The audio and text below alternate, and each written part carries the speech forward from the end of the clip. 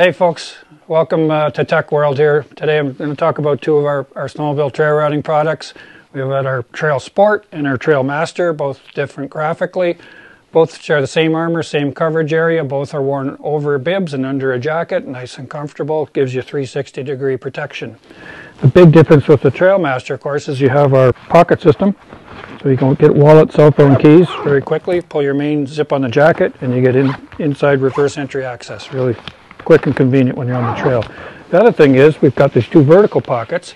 And we've got room for one, if not two cell phones or a phone and a, a battery charging pack.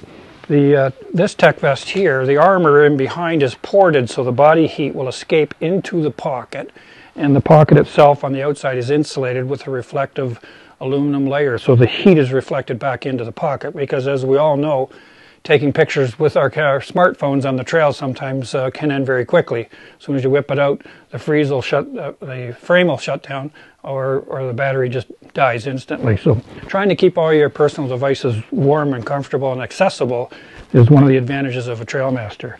And another thing, more and more folks, of course, who are riding outside the cell network are running spots in InReach Garmin's. So we've got a clip here that you can you can run your your InReach on.